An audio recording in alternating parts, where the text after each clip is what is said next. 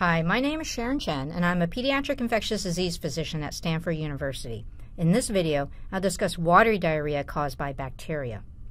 The learning objective is to recognize the clinical features of watery diarrhea and how they relate to the pathogenesis of Vibrio cholera, ETEC, and EPEC. Here is the summary table for watery diarrhea. Watery diarrhea affects the proximal small intestine. The classic example of the pathogenesis of watery diarrhea is a toxin-mediated secretory diarrhea. The main bacteria that I will discuss in this video are Vibrio cholera and a type of E. coli called enterotoxigenic E. coli, or ETEC for short. I'll also briefly discuss other E. coli, like enteropathogenic E. coli and enteroaggregative E. coli. Both of these bacteria also cause watery diarrhea, but they don't make toxins. Let's start with Vibrio cholera.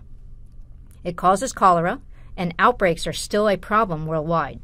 Vibrio cholera is a gram-negative curved rod with a single flagellum at one end. You can see an image of this on the slide.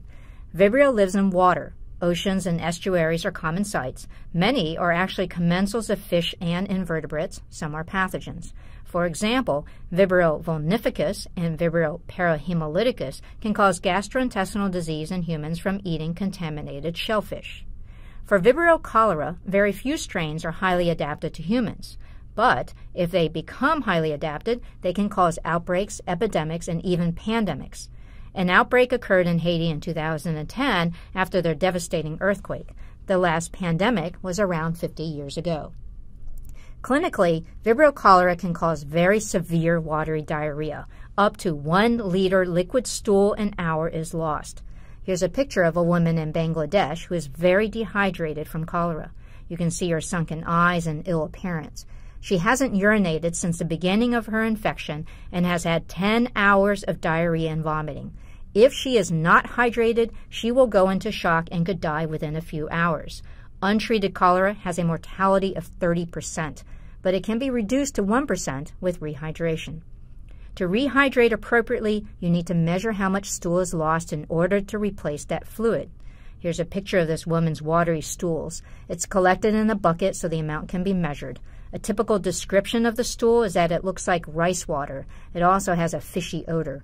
Stools contain 10 million to a billion bacteria per milliliter of stool. Transmission of cholera is fecal oral. This woman drank unboiled water that was contaminated with infected human stool.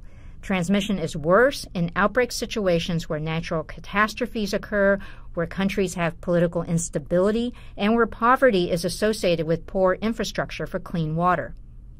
The cholera outbreak in Haiti is a good example of high transmission because a natural catastrophe happened on top of an already poor infrastructure. Diagnosis is mostly clinical in the right setting. You can do a wet mount of stool and see Vibrio darting around under a microscope, but definitive diagnosis is with stool culture. Cholera is the only watery diarrhea where antibiotic therapy is important. It can decrease stool output by 50%. Here's the same woman with a dramatic recovery after rehydration. To cause disease, a large dose is necessary, about 100 million bacteria. It's not hard to ingest this amount because I already mentioned there are a billion bacteria per milliliter of stool. The reason you need such a large bacteria dose is because Vibrio is not well adapted to humans and they can die in the acid in your stomach. The few that survive stomach acid will need to colonize the small intestine. This occurs during the asymptomatic period. Using their flagellum, Vibrios swim, called darting motility, to get to the surface of the small intestine epithelium. If they can't reach and attach to the epithelium, they will not cause disease. One of the barriers to get to the epithelium is mucus, a physical barrier. Think of it like barbed wire. Vibrio cholera produces enzymes called mucinases that degrade the mucus so it can get to the surface of the cell. The next critical stage is attachment, and this occurs through pili or fimbriae called TCP. TCP pili are also important for attaching Vibrio to each other. And this is important for the next step. The bacteria multiply on the surface of the epithelium and they grow to massive amounts on the surface. In the life cycle of a microbe, the next step is for bacteria to exit. Cholera toxin is produced as an exit strategy. It is a signal to disperse. Cholera toxin induces massive secretory diarrhea. And this is how Vibrio cholera can exit the host. A lot of detail is known about cholera toxin, and it exemplifies how a large class of bacterial toxins work. So I want to spend some time discussing cholera toxin because it'll help you learn about many other toxins. Cholera toxin has to get into the cell to work. First, it has to bind to receptors on the cell surface to enter, much like a virus. I'm going to zoom into the structure of cholera toxin. In the molecular model on the slide, you can see that it's made of two subunits, A and B. So it's an example of a class of toxins called AB toxin. The B subunit in all of these toxins is what binds to the cell. You can remember this as B for binding. This gives it specificity, that is where cells, what cells it can enter. The receptor for cholera toxin is GM, GM1, a ganglioside. The B subunit is made of several monomers that organize itself into a ring structure with a hole in the middle, as you can see in the image. The A subunit is an enzyme that activates G protein. You can remember A for active.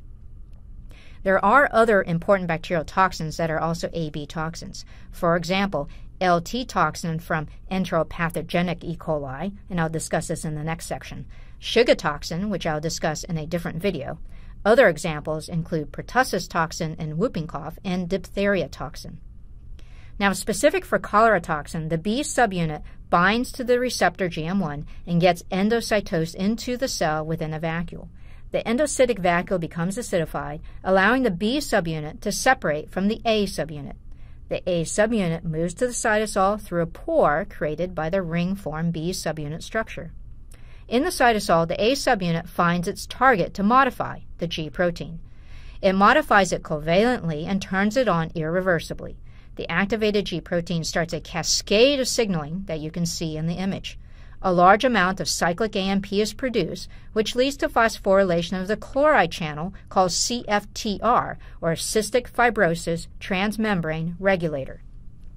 Phosphorylation of CFTR opens the channel, allowing chloride to escape the cell. Chloride pulls sodium with it. Now you have sodium chloride, which you know is salt. Water follows salt, and the end result is watery diarrhea. Nothing else is broken in the cell except the CFTR chloride channel. This is important to know because bypassing the CFTR pathway could fix things. The good news is that there is a fix. Another channel is available called the glucose sodium cotransporter. This channel can bring glucose and sodium back into the cell and then water follows. We can give a person glucose and sodium through a solution and it's called oral rehydration solution or ORS. Oral rehydration solution has saved countless lives. The development of oral rehydration solution was based on the knowledge about cholera toxin and cholera pathogenesis. A recurring theme is that many virulence factors, like toxins, are acquired by bacteria via horizontal gene transfer. Vibrio acquired the cholera toxin gene from a bacteriophage, which is a virus that infects bacteria. Now that you understand cholera, I want to discuss another bacteria that causes watery diarrhea with a similar mechanism. But this one you'll see more often than cholera. The bacteria is enterotoxigenic E. coli. Enterotoxigenic E. coli, or ETEC for short, is a gram-negative rod with flagella. You can see an image of it on the slide. With rotavirus, it is the most common cause of diarrhea in children. It is also the main cause of traveler's diarrhea. Perhaps you've heard the saying, Boil it, cook it, peel it, or forget it. If you don't do these things, you might get traveler's diarrhea.